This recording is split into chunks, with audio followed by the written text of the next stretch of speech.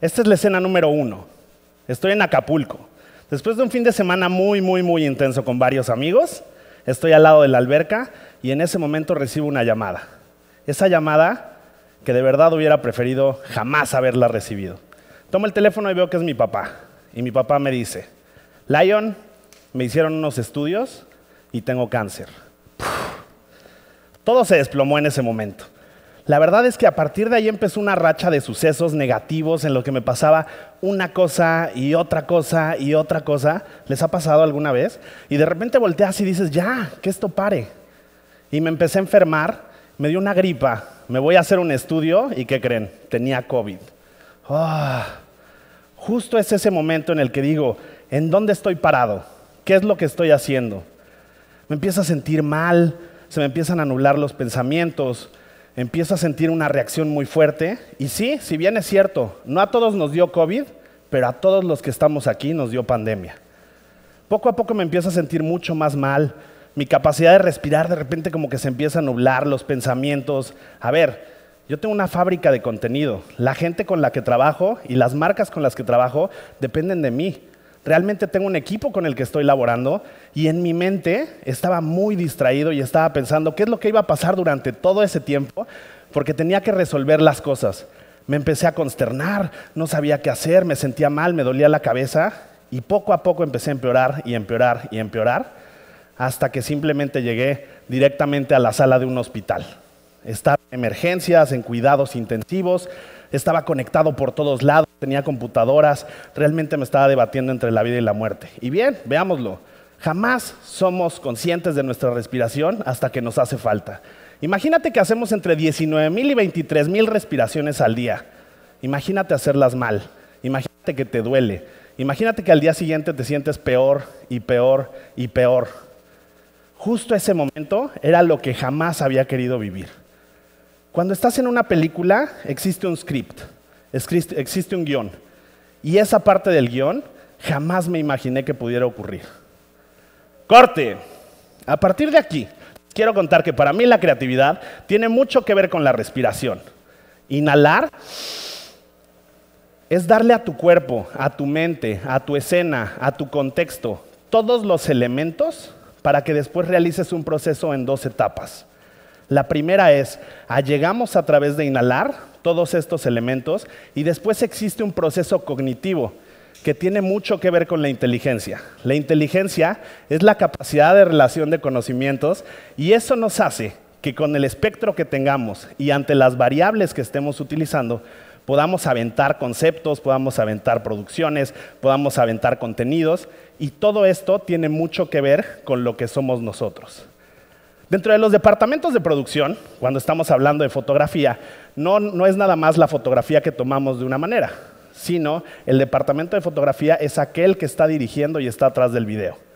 Entendamos a la fotografía como un cuadro en el que tenemos toda una realidad, pero nosotros somos capaces de decidir qué fragmento de esa realidad vamos a imprimir. ¿Cuáles son los elementos que la van a componer? ¿Qué óptica estamos usando? Si estamos lejos, si estamos cerca si estamos parados, si estamos sobre alguna estructura. Todo eso lo vamos a lograr con un proceso. El proceso es, primero tenemos una fotografía, 24 fotografías animadas o en contexto, si las, revolucionamos se convierten en un segundo, para televisiones 30 fotografías en un segundo, y eso nos da una escena. Y esa escena poco a poco nos va a ir construyendo a la larga, si tenemos una secuencia de escenas, para poder tener un producto final. Parte importante de lo que me estaba sucediendo en ese momento es que yo estaba fuera de foco. Les voy a pedir que levanten su mano y pongan enfrente de ustedes un dedo. ¿Qué es estar fuera de foco? Si vemos nuestro dedo, ¿cómo se ve todo lo de atrás? Completamente borroso. Ahora quiero que enfoquen o pongan su atención en la parte de atrás. ¿Cómo se ve su dedo? Borroso, correcto. Eso es estar fuera de foco. Analíticamente y mentalmente exactamente eso era lo que me estaba pasando. Yo no me había dado cuenta y jamás lo pude tener presente hasta que estaba en un hospital y estaba pensando realmente en algo que no era lo que era mejor para mí. Estaba concentrado en cierto tipo de cosas y no le estaba dando foco a lo que realmente era importante. Así que acostado en una cama con muchas computadoras, con eh, oxígeno y con respiradores y con todo, con enfermeras haciéndome placas todo el tiempo entrando sin dejarme dormir, me puse a pensar y dije, hay algo muy importante aquí. El COVID es un virus y se alimenta de mí. No existe un paracetamol, no existe cortisona, no existe absolutamente nada que sea capaz de destruirlo. El único que le puede dar vida o lo puede matar soy yo. Entonces me empecé a concentrar en mi respiración. 19 mil respiraciones al día. Volté a ver lo más lejano que estaba de frente a, a, mí y eran mis pies.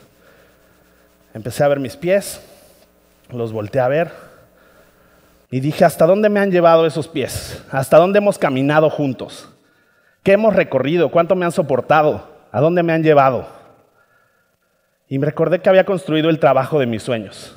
En algún momento de mi vida decidí realmente inventarme un trabajo en el que contaba muchas historias, en el que ayudaba a las marcas a contar sus propias historias. Y hoy en día tenía que poner atención en mí y tenía que poner atención en mi propia historia.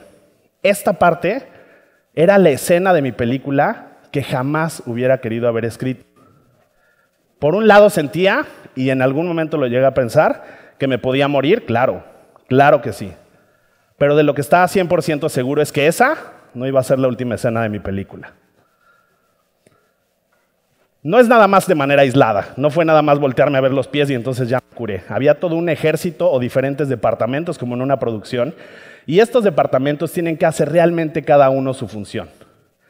El staff, las enfermeras, los doctores, eh, el hospital, las placas, todo se fue conjuntando junto con esta parte de iluminación. Y en ese momento me sentí iluminado. En producción no existe producción y no existe ninguna toma y no existe ninguna fotografía ya que dibujamos con luz. Todo lo que necesitamos para poder realizar una producción es luz. Y yo necesitaba sentirme iluminado.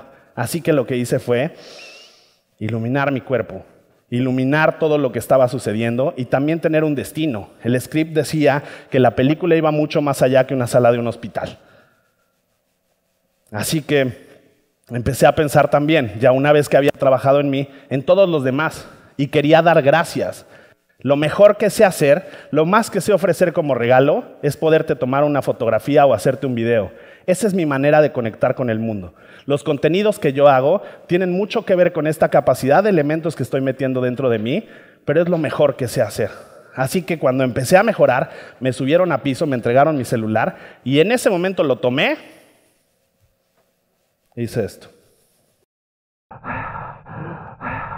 Respirar, más que un proceso es dejar entrar vida a tu cuerpo y para eso corrí con suerte. Yo siempre creí que a mí nunca me iba a pasar y hablar de suerte es hablar de la fortuna de tener un ejército de ángeles que no te dejan caer. No magnificaba el valor de la palabra gracias, hasta que no tuve más para retribuir a tanta gente que con el pensamiento, con oraciones, con mensajes, con acciones, estuvieron cada segundo pidiendo por mi vida.